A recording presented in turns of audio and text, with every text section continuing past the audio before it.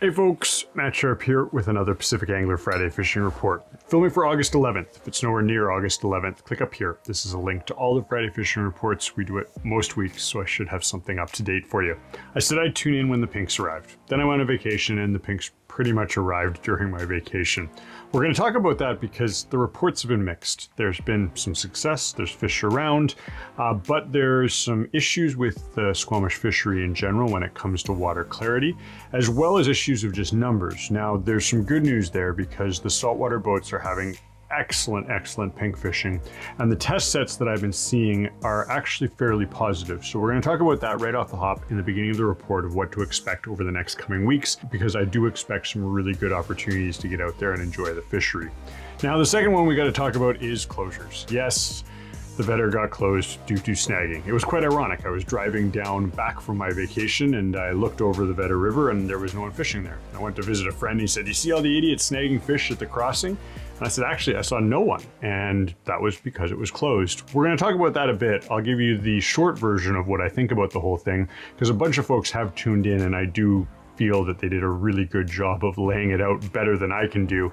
Uh, but basically, I think it's a knee-jerk bad reaction by DFO to a even more troublesome situation that we as anglers should probably address among ourselves. And we're going to talk about that because I am concerned that what was done there might be looked at as a management measure to deal with other issues in fisheries. And that's a concern for everyone who is playing by the rules because when they blanket close because of a few bad apples, it poses problems. Now, with that closure front, we've also seen some funny ones. I keep getting calls about Ambleside, I keep getting calls about Indian Arm, I keep getting calls about areas even on the Squamish where there's either signs or people are coming out and saying you're not allowed to fish here. We're gonna talk about that a bit because I've looked as hard as I can to try to figure out what the right way to go about it is. And a few of them are kind of blatantly wrong when it comes to what jurisdiction it is to say yes or no to fishing.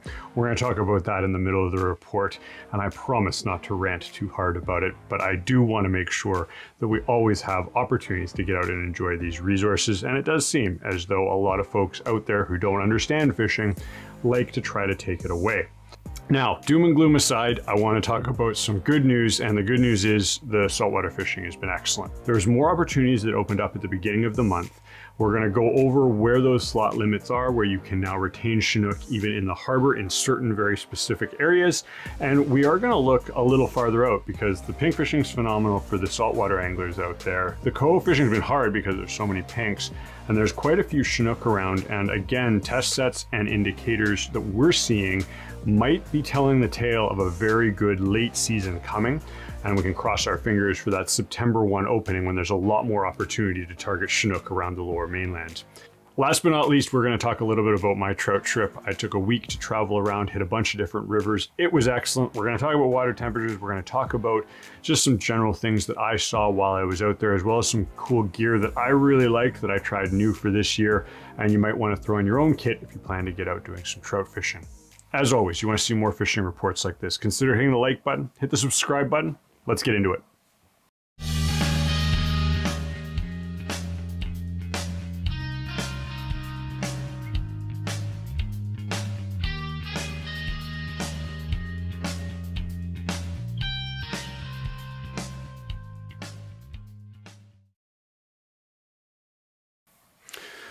All right, thanks for tuning in, everybody. Uh, cheers to uh, Friday in August. I hope everyone's having fun getting out there, enjoying it. Uh, we're going to start off with the pinks because what have we been hearing? Well, they've arrived in the Squamish, they've arrived at the beaches, but it's very spotty. It's spotty when those fish are pushing into the beaches, and it's spotty to find areas on the Squamish where there's clear enough water to catch them reliably. I still recommend going. I recommend watching water levels. Right now, the Mamquam, at least as I'm recording, is still pumping quite dirty water, which makes it very hard because those fish can't see your presentation, and it leads to concerns of snagging. We have to be very careful in this fishery. If you're in a spot and you happen to snag one, maybe two fish, I really want you to think hard about changing your presentation or moving uh, because It'll be how the angles work of where you're standing for that fish to get snagged, be it with a fly or with gear, and moving can change that. It's going to be challenging if the water's dirty. We do need to see things clear up to see more consistent biting fish. But the good news is we think a lot more fish are coming. Now they're very late. When you look at historical numbers, they should have been in the Squamish now in really good numbers. And usually that indicates a much smaller run. There's a lot of concerns about this run due to washed out gravel, ocean survivability, but I've seen some test sets that indicate that there might be a lot more fish still coming. Now, are those fish going to the Fraser? Probably, but hopefully some of those are also going to be pushing up Howe Sound as well as Indian Arm. So that's good news. We got our fingers crossed. That the best of the pink fishing, at least up Howe Sound area, Ambleside, up Indian, is yet to come. And it is well worth getting out right now, whether it's on the beaches or on the rivers again, play by the rules and respect those snagging regulations. I would hate to see, for example, the Mamquam bar shut down if they saw uh, repeated snaggers like they did on the Vedder. Now, let's talk about the Vedder. I'm going to pull up the map. A lot of people don't know yet and uh, have them scratching their heads, and I'd hate for you to head out there and maybe uh, go to an area. Where is it here? I had it open a second ago. Ah, here we go.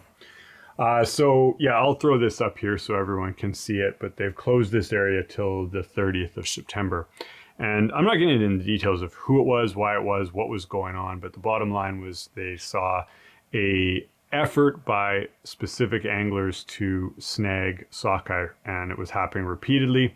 They observed this and they said, hey, we're just going to close down this whole area. Now, I think that's a really bad way to manage a resource, manage a resource that is a great part of our economy.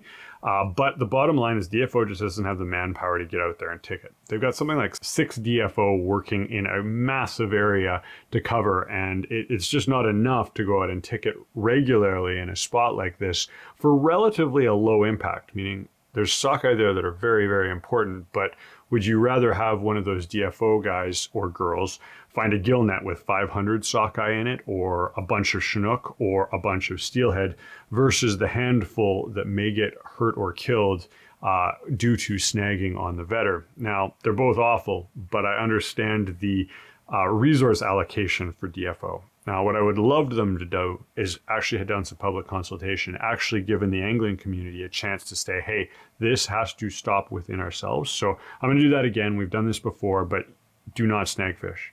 Do not long line float and set the hook at the end of your drift. Do not use long leaders. Short float, look for biting fish. If you do happen to snag a fish, because it does happen, consider changing what you're doing, whether it comes to your presentation, whether it comes to your depth, whether it comes to your angles. All of those things can play a big factor and get you back in the game of looking for fish that are actually biting, which is what we're legally required to do when out targeting. Now, you're going to run into this. I run into it all the time. I see this happening and it boils my blood. Don't let it ruin your day try to go up and educate them. Say, hey, you guys, you shouldn't be doing this. And this is why. They're going to close the fishery for all of us. Do you want this fishery closed? Because that was the precedent that was set here. I don't like that, but maybe we can convert a few folks that maybe don't know any better. And again, treat all these interactions with the utmost respect and don't let it ruin your day of fishing. If it does get into a confrontation, just move on. It's not worth it. And I do recommend calling DFO, even though I don't like how DFO reacted to this individual situation. All right, uh, let's talk more about other closures, other ones that are weird and strange. First one is back to Ambleside. You saw me flipping through pictures there. Uh, we've got notified of this and I'd heard about it before, but this is Ambleside Park and there's a bunch of signs sort of lining the walkway that say no fishing. And that's really confusing for a new angler who wants to play by the rules. Um, one thing we have to remember is that is a municipal park regulation. Uh, I've looked it up and they're right. There is no fishing on that park. And if you notice, there's a little pond in that park and you're not allowed to fish there. That is in their jurisdiction. Anywhere below the high water mark, however, is not, and we are allowed to fish there. Uh, DFO would have to make that closure, and they haven't. And so, if anyone gives you grief about fishing at Ambleside, as far as I read the law and as far as everyone that I've put this in front of, those signs do not affect beach anglers when it comes to fishing from there. There might be an argument for fishing from the rock jetties, where that could be something uh, that this regulation falls into. But the second you're below that high water mark, that mark of kelp, that uh, tide line on the rocks, then you are no longer within this park and no longer within that regulation. So note there. Now the other one is I've heard some talk of up Indian Arm. Now there's some closures up Indian Arm due to rockfish conservation areas and you absolutely can't fish there. Uh, but I'm trying to figure out more about that. We haven't found anything from DFO on closures around the mouth of the Indian. If somebody knows more than me, send it my way. Taylor and I spent about two hours digging through regulations to see if something had changed. Uh, as far as I can tell, there is nothing up there. And if someone does get stopped and asked, please ask the person to explain it and show it to you because we can't find it. It makes no sense. Maybe it was a rockfish conservation area that you have to abide by and do check out the map and see where that is and where those markers are. Uh, but long story short, there shouldn't be any closures up there. Other closures, I'm not going to get into them in detail, but it seems like there's signs popping up everywhere. Uh, simple rule is that if you're below the high water mark, private property is not in effect, as well as any ownership of property. So play by the rules, be respectful to everyone out there. If someone says you're not supposed to be there, ask them to educate you, uh, make it a positive conversation. And if you're not sure after you come home, send me an email. I'd love to hear about it. We'll try to do some digging at our end because I do feel that we need to protect every opportunity and every area that we are allowed to go uh, fish because it seems like time and time again they keep trying to close us, shut us down, and box us out of fisheries that we've enjoyed for decades, if not longer. All right, let's talk about saltwater fishing because that's some good news. Really good news, actually. We've seen some phenomenal trips. Our boats have been going out every day and it's been darn good. I will say that there's so many pinks sort of off Bowen and Point Atkinson pushing up into Howe Sound right now that the coho fishing has been challenging. And we think it's just a symptom of them getting pushed around by the massive pinks coho fishing is still good and there are still lots of coho out there and it's well worth it, but do expect to run into some pinks when you're doing it. Now, the Chinook fishing, we've had an opening on the North Shore. I'll put the map up here. There's a sliver along the North Shore where you are allowed to retain uh, slot limit Chinook I'll put the details up here. And then across the strait, they've opened up a little bit more of an area around Thrasher Rock, where again, the slot limit is in effect. We still can't fish in the major areas around Vancouver Harbor, but when we've been out coho fishing and we've been out pink fishing, there have been quite a number of Chinook, which has been cool. Now, we're not targeting those. We tend to move off if we're in a scenario where we hook one or two of them. But the indications are that we're going to see a good late Chinook season. We're also seeing some very large fish. We had not one, but two, but three Tyee classed fish taped uh, for genetic work in the last handful of days, which was really fun to see. All those fish went back, and quite honestly, if you have the opportunity to put one of those fish back and it's not bleeding, uh, when we are allowed to retain them, I would still encourage you to do that just to keep those genetics going. All right, let's talk trout fishing. Uh, let's talk about my vacation a bit. I'm not going to go into detail of where we went. We traveled all over the place, hit a bunch of different fisheries. It was cool. Uh, I wanted to just talk a little bit generally about uh, what we're seeing on the trout fisheries. It's still well worth getting out. All the temperatures that I took were within norms, even though the water is very, very low on these systems. Still, as always, treat all the trout with respect. Make sure your barbs are pinched. Make sure things get back in the water quickly because it is warming up next week when we do look at the weather. I can pull that up for everybody right now if you're thinking about getting out anywhere, but uh, it looks as though in the 14 day trend, we are going to see above average temperatures. Now, we've seen fairly average temperatures for the last month, which has been great because water's been so low that if we saw big spikes in temperature, we might have some problems. Now, there's no rain in the forecast either, which I would like to see. We had a little bit over the weekend. Things were cool. That was good.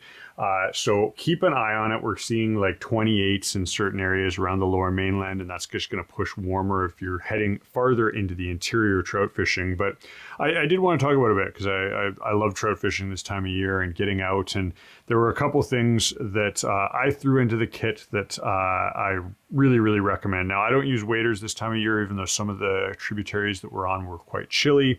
Uh, I went with the wet wading boots and I threw in the wet wading sock with the wet wading boot this year, and I absolutely loved it. It made getting them on, getting them off way easier. So if you're heading out, if you've done the neoprene sock, it's way better than nothing. It's uh, really, really nice actually. We've got those in stock, but try throwing the tight weave wet wading sock underneath it. It was a game changer for me, at least by day five when I'd been wearing the same socks over and over again. Got a little gross, but that was just a fun one that I thought maybe you guys can add to your kit. The other one that uh, I've had for years, but uh, I'm gonna pump again, is this guy here. If you guys are a dry fly addict like me, you need to have some sort of a floatant. That's uh, sort of just to get in the game, and you should be applying floatant right off the hop. But in that little kit there, I've got dry shake and gink. And so what do I do when I'm setting up for the day?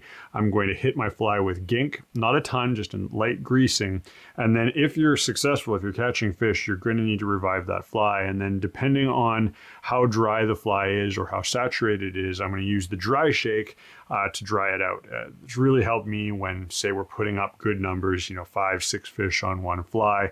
Instead of sticking it in your hat and having to dry it out and retiring a fly that's working, you can usually get a handful more fish out of it if you sort of cycle back and forth between the gink and the dry shake. So, little pro tip there. Another thing uh, is cover water. Uh, it looks like on our Skagit fisheries that the nymphing throughout the day is the best. Dry fly pushing more into the evenings, which is normal. Uh, I'm going to be heading up there in September if temperatures stay the same and everything is good on that front. Uh, pushing more towards Kettle, Thompson, those areas. It was cover ground, cover ground, big dry flies. Uh, look for areas of high oxygen because those rivers are usually warm and the fish need to live there. And last but not least, if you happen to be heading out to the Thompson, make sure you've got cleats in your boots. I bailed and fell flat on my face more than once, uh, and uh, that's a river that I've been hiking for years. Uh, it's sort of a price of admission when it comes to that one. So pop in some fresh cleats if you haven't done it. It's a good excuse to get ready for salmon season if you've got Vibram and you want to get some extra grip there. All right, that's everything I've got for y'all. I uh, hope you can make it out over the last part of August. Uh, come down to the shop if you want to talk trout fishing. Heck, if you want to talk pink fishing, a bunch of the guys have been heading out regularly. Uh, we're hoping those waters are going to clear up. And if you are heading down to the shop, just a friendly reminder, we actually have some of the best parking that the shop has ever seen, but no one knows about it. You can park right out front of the shop. It is a loading zone specifically for our customers, and it's free and it's open all day long. So there's no more worrying about getting towed when they do a traffic change. Uh, so we hope to catch you in the shop. And as always, you want to see more reports like this, consider hitting the like button, hit the subscribe button. I'm going to catch you in two to three weeks.